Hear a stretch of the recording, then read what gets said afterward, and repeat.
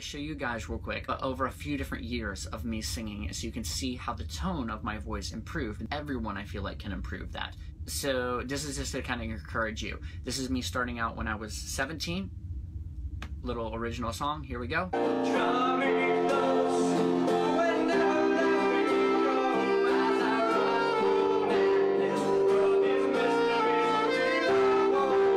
Couple years later and you'll hear the sound of my voice like the natural like tone of it just kind of improved and the, the feeling of it.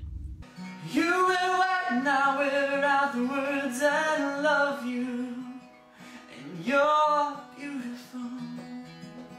And now this is fairly recent about a year ago. Rocket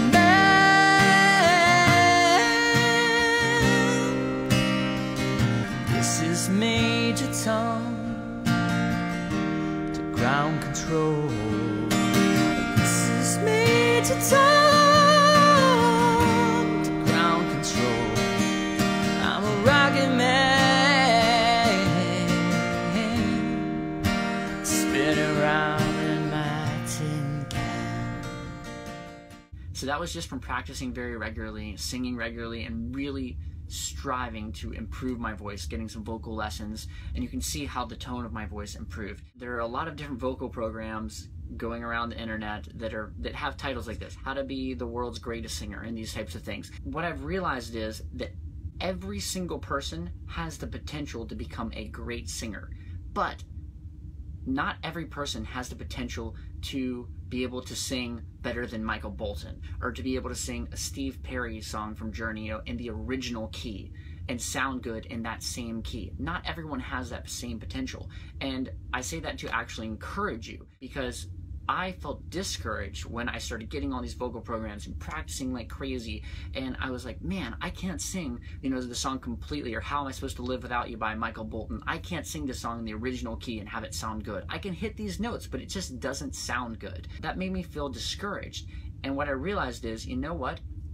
Vocal cords are part of your body, right?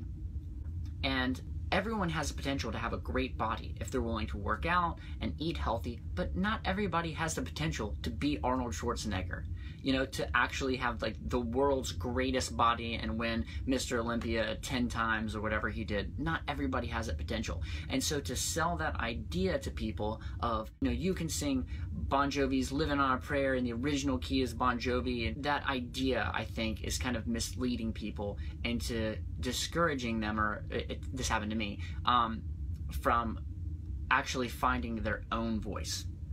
And so there are certain singers that you're going to naturally sing sort of like them and that your voice is going to fit into that.